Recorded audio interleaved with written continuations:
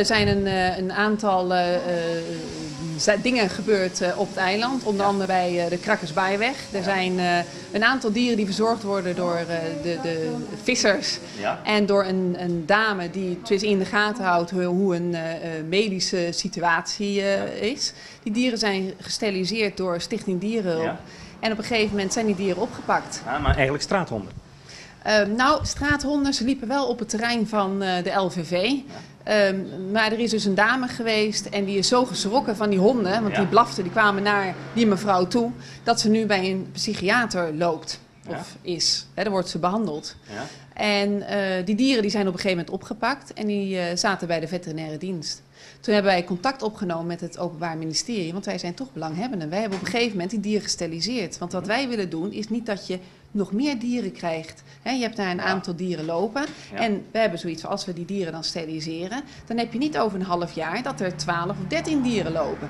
dus wat proberen wij op, op, een, op een zo diervriendelijke manier proberen we dat probleem in te gaan dammen. Mm, reguleren. Exact. Dus uh, we hebben contact opgenomen met het, uh, met het OM. Van wat gaat er met deze dieren gebeuren? Dit zijn verder vriendelijke dieren. Ze hebben niemand gebeten. Aha. Alleen ja, daar hebben we eigenlijk niks meer op teruggehoord. En later hoorden wij dat deze dieren zijn afgemaakt. Dat hadden jullie niet verwacht? Dat hadden we niet verwacht. Juist omdat jullie al eerder hadden gereageerd. Exact, exact.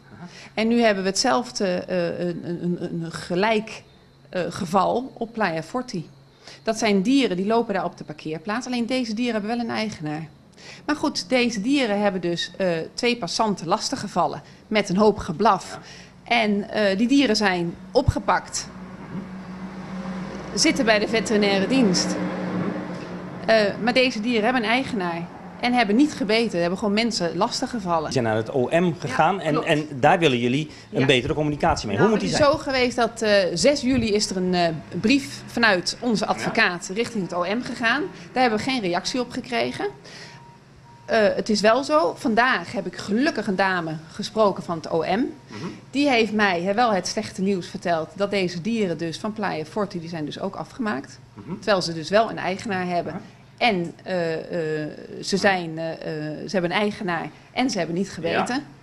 Maar zij zou mij nog wel terugbellen en, om hierover te praten. En ik hoop gewoon dat in de toekomst dat wij wel een, ja, een samenwerking he, kunnen, kunnen krijgen met het OM.